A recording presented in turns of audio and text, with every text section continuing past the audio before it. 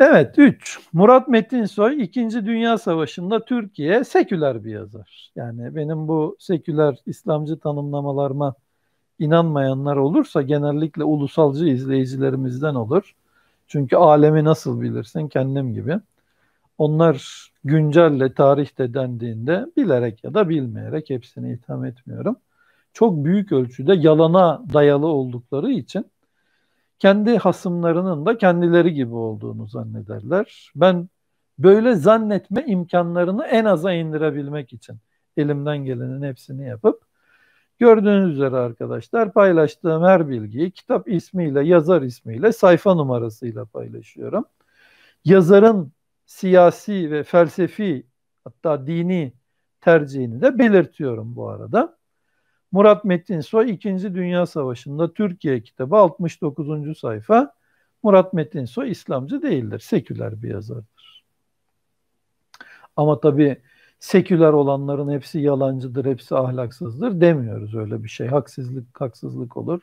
Öyle bir iddiam da imam da yok. Murat Metinsoy arkadaşlar seküler ama araştırmacı, tarihçi onuruna, dürüstlüğüne sahip bir isimdir. Evet. Sayit Kesler'in dönemin gazetecilerinden Tanda yayımlanan gözlemlerine göre dönemin gazetelerinden sol ağırlıklı bir gazete. Serteller'in gazetesi. İstanbul'da dikkat edin Doğu Karadeniz'in kuş uçmaz kervan geçmez köylerinden bahsetmiyoruz şimdi. İstanbul'dan bahsediyoruz.